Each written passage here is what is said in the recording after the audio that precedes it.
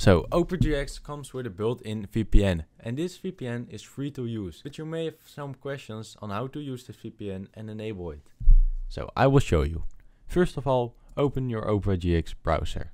Now, once it's open, please go to the settings right here. Now, here you should please go to the features option and then you should VPN open up on the top. Now, this VPN is actually for free and you will also have a VPN Pro if you would like to pay for it. Now, to enable the VPN free, you click on enable VPN. And here, first of all, you have a few different settings that you can change up to your liking. So if you would like to always use a VPN, I suggest clicking on this option. And if you don't, don't click on it. If we now open a new tab, you will see that we have this VPN logo next to our search bulk. If you now click on this logo, we can fastly enable and disable our VPN. If you click right here under the VPN, you can choose any general location that you would like.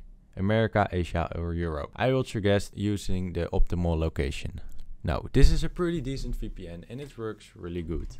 By using this VPN, this means that your data is more safe and I suggest using it. I hope you found some value in this video. Please like and subscribe and thank you for watching.